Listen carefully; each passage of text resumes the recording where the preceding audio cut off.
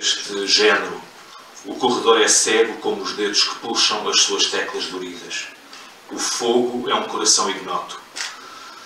Uh, isto é muito interessante, quer dizer, de certo modo é como se o João Rasteiro e outros, José Rui Teixeira, uh, Ana Paula Inácio, enfim, mas o João Rasteiro em particular, mantém viva qualquer coisa que na poesia portuguesa mais recente, talvez nos últimos 20 anos, foi posta um pouco à margem, que é essa aposta permanente no, naquilo que era uh, a imagem para os surrealistas. Quer dizer, há, há, de facto qualquer coisa de alógico, de, não de ilógico, mas de fuga à lógica que desafia de facto os, os leitores. Pelo menos a mim desafia. Uh, claro, para o Ezra Pound, as ideias, as pétalas, não é? Uh, e por outro lado, ela no quarto verso diz Carvaste a tua tristeza como se fora estaca certeira rumo ao coração das trevas.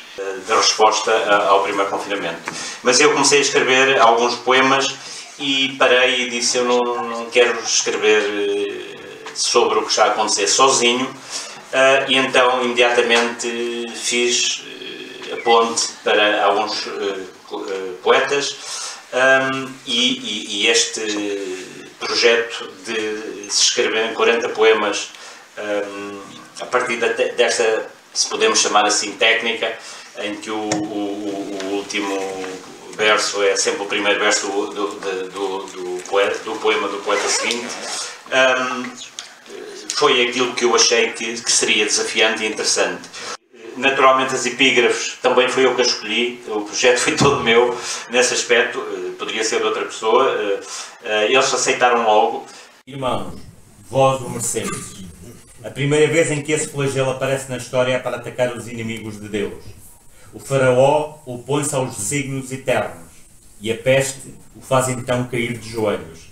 Sabeis agora o que é o pecado, como souberam Caim e seus filhos os de antes do dilúvio, os de Sodoma e Gomorra, Faraó e Jó, e também todos os malditos. O que lhe enchia o coração neste momento era a imensa cólera que atinge o homem diante da dor que todos sofrem. Não haverá outro remédio que eu lhe possa dar que não seja a compaixão, que é a irmã da ignorância.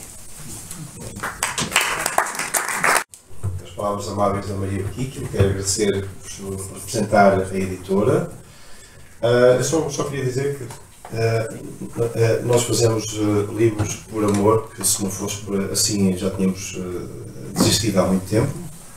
Não é fácil fazer, fazer a literatura marginal, que não está no mainstream, mas vamos continuar e temos muitas coisas, muitas surpresas durante este ano.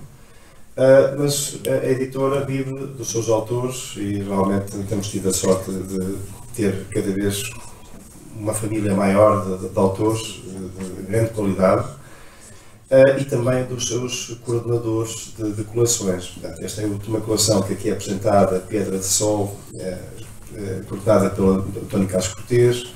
É realmente a última coleção, nós temos várias e, e nomear aqui toda a gente, mas de facto, eh, e, e, já agora, todos estes coordenadores têm a sua, fazem graciosamente este contributo à, à editora, porque acreditam exatamente como nós acreditamos uh, que vale a pena uh, dar voz a estes autores menos conhecidos, sejam os portugueses, sejam os estrangeiros, e, e cá estamos para continuar este, este trabalho muito obrigado a todos, muito obrigado à Laura por confiar em, em nós, ao João e todas, todos os autores do Quarentena.